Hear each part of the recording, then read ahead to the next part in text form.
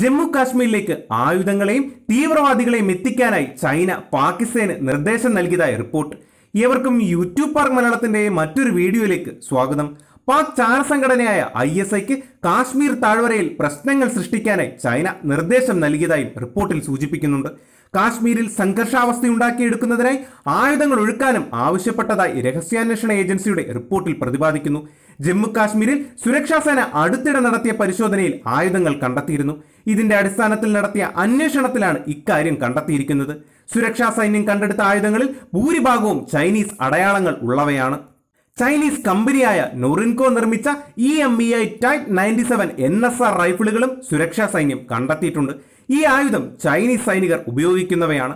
അതേസമയം അതിർത്തിയിലെ സുരക്ഷാ സംവിധാനങ്ങൾ കടുത്തതായതിനാൽ ഭീകരർക്ക് താഴ്വരയിലേക്ക് നുഴഞ്ഞു കയറാൻ സാധിച്ചിട്ടില്ല.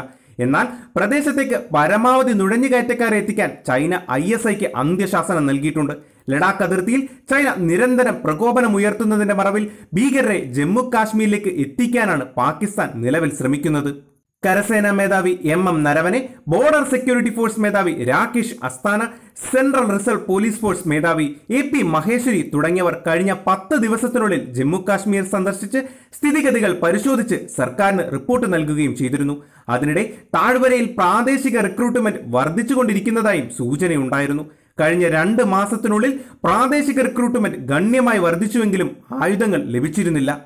ഇതിനെ തുടർന്ന് പാകിസ്ഥാൻ ഇപ്പോൾ ആയുധ ഡ്രോണുകളും ക്വാഡ് കോപ്റ്ററുകളും വഴി ഭീകരർക്ക് ആയുധങ്ങൾ എത്തിക്കാനും ശ്രമം നടത്തുന്നുണ്ടെന്ന് റിപ്പോർട്ടുണ്ട്. ഇതിനായി ചൈന പാകിസ്ഥാൻ എക്കണോമിക് കോറിഡോറിന്റെ മറവിൽ I S I C P E സിയുമായി ബന്ധപ്പെട്ട ഒരു ചൈനീസ് സ്ഥാപനത്തിൽ നിന്ന് ധാരാളം ഹെക്സാകോപ്റ്ററുകൾ വാങ്ങിയതായും രഹസ്യാന്വേഷണ വിവരങ്ങളുണ്ട്.